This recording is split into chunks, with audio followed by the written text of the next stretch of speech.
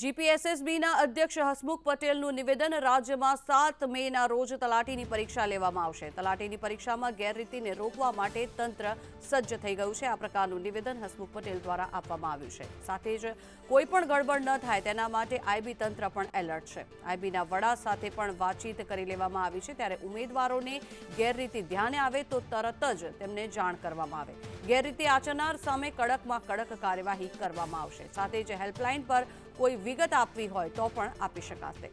નિયત સમય કરતાં પહેલા પેપર ખોલી શકાશે નહીં અને પરીક્ષામાં ખોટું નામ ધારણ કરવું અથવા ડમી તરીકે જો પેપર પર બેસવામાં આવશે તો પેપર ફોડવા કે કાવતરું કાયદાને તેમાં આવરી લેવામાં આવશે. આ પ્રકારનું નિવેદન હસમુખ પટેલ દ્વારા આપવામાં આવ્યું.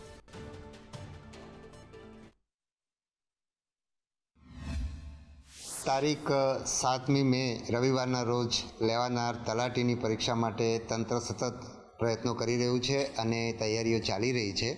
મોટાભાગની તૈયારીઓ પૂરી થઈ છે. આ પરીક્ષામાં કોઈ પણ પ્રકારની ગરબડ ન થાય, એટલા માટે પોલીસ તંત્ર અને રાજ્યનું જે ઇન્ટેલિજન્સ તંત્ર છે એ સાબદું છે.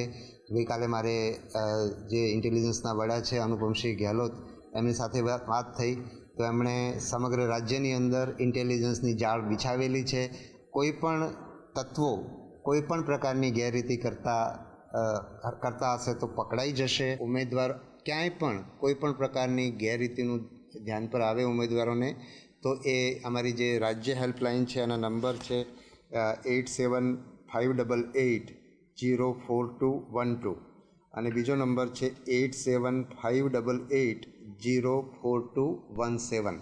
આ બંને નંબર ઉપર ફોનથી જાણ કરી શકે છે. આ હેલ્પલાઇન કચેરી સમય દરમિયાન ચાલુ છે.